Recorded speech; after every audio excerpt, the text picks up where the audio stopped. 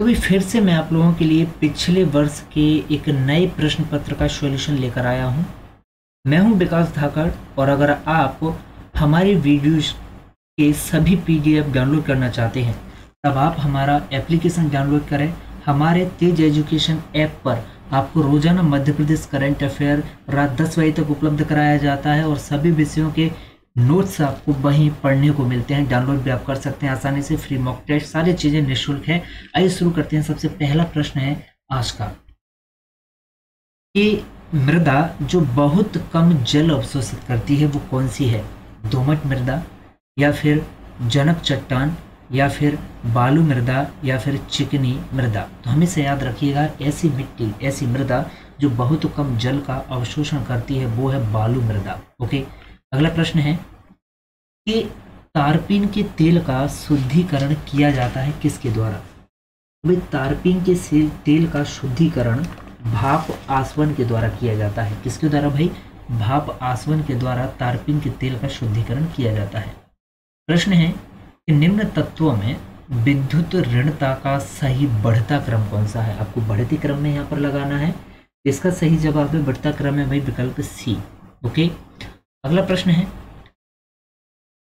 दो पिंड एक दूसरे से, एक दूसरे के विरुद्ध रगड़े जाते हैं तो क्या होगा?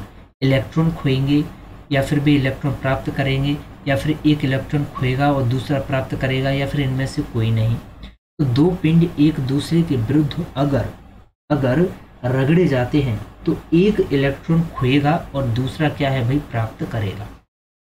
प्रश्न है कि घर्षण बल सीधे समानुपाती होता है किसके? तो घर्षण बल सीधे गतिमान वस्तु के भार, क्षेत्रफल, आकार आदि कारकों के क्या है भाई? समानुपाती होता है। ओके विकल्प सी इसका सही जवाब होगा। क्या होगा? विकल्प सी इसका सही जवाब होगा। प्रश्न है कि पराग कण उत्पन्न होते हैं किसमें? तो भाई, पराग कण उत्पन्न होते हैं पराग कोष में। प्रश्न है कि एक रेतीली ज़मीन पर बिखरी हुई लोहे की कीलों को एकत्रित करने में जो बल प्रयुक्त होता है, वह कौन सा होता है? बहुत ही अच्छा प्रश्न, शानदार प्रश्न वेरी वेरी इंपॉर्टेंट हमेशा याद रखें, यहाँ पर चुंबकीय बल प्रयुक्त होता है। ओके अगला प्रश्न है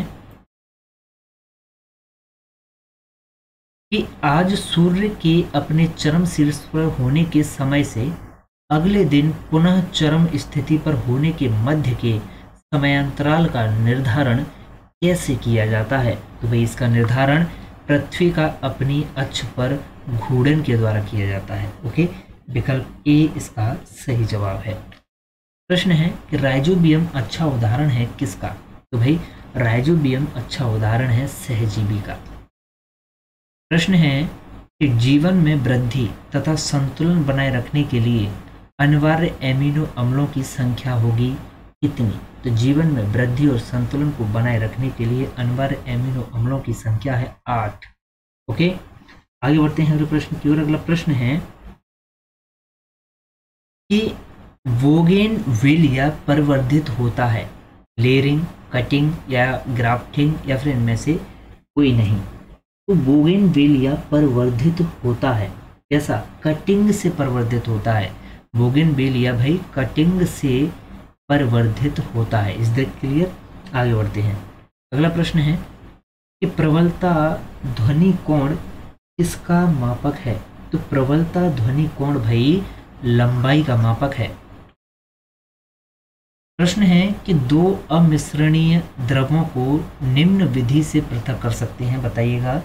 तो दो अमिश्रणीय द्रवों को पृथक करने के लिए भाई जो विधि यूज़ की जाती है वो है पृथककारी कीप विधि, ओके?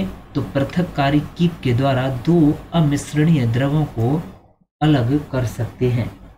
अगला प्रश्न है, कि किसी साज की टाइट की गई डोर डॉट डॉट आवृत्ति की ध्वनि उत्पन्न करती है। तो भाई, किसी भी साज की टाइट की गई जो डोर है, वो उच्च आवृत्ति की उच्च आवृत्ति की ध्वनि तरंग क्या है भाई?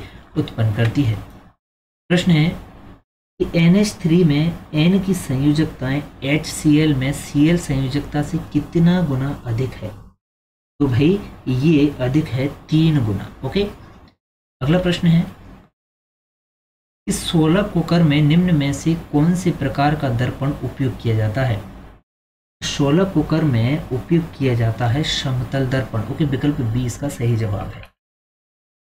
तो इस वीडियो में मात्र इतने ही प्रश्न मिलते हैं आपसे अगले वीडियो में और अगले वीडियो में हम देखेंगे भाग 26 ओके, जिसमें सभी प्रश्नों का सॉल्यूशन हम देखेंगे।